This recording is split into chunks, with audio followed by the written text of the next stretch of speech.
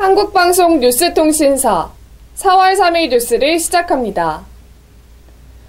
수도권 매립지 주변 자치위원협의체 위원장 이취임식이 3일 오후 2시 수도권 매립지관리공사 홍보관에서 열렸습니다.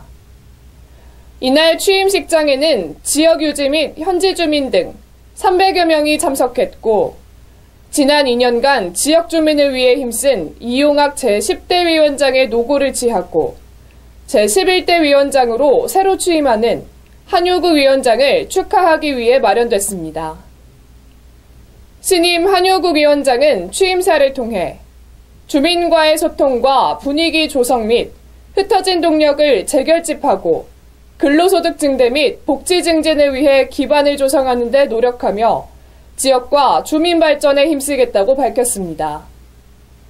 전임 이용학 위원장은 지난 2년간 지역 주민의 도움을 위해 최선의 노력을 했다며 선임한 위원장의 매립지 운영에 획기적인 발전과 기여를 해달라고 말했습니다.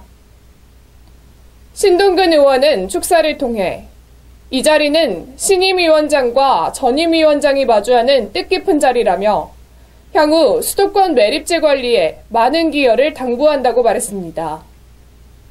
또한 이혁재 의원은 그동안 수도권 매립지를 위해 힘써주신 모든 분들에게 감사하고 앞으로의 발전이 기대된다고 밝혔습니다. 이어 이재현 인천서구청장은 클린 서구, 행복한 서구, 함께하는 서구와 같이 수도권 매립지 또한 긍정의 땅으로 이끌어 나가야 할 중요한 때라며 수도권 매립지를 희망의 땅으로 이끌어 나갈 한효국 위원장의 취임을 축하한다고 말했습니다. 내빈 축사에 이어 모든 행사가 마무리되었습니다.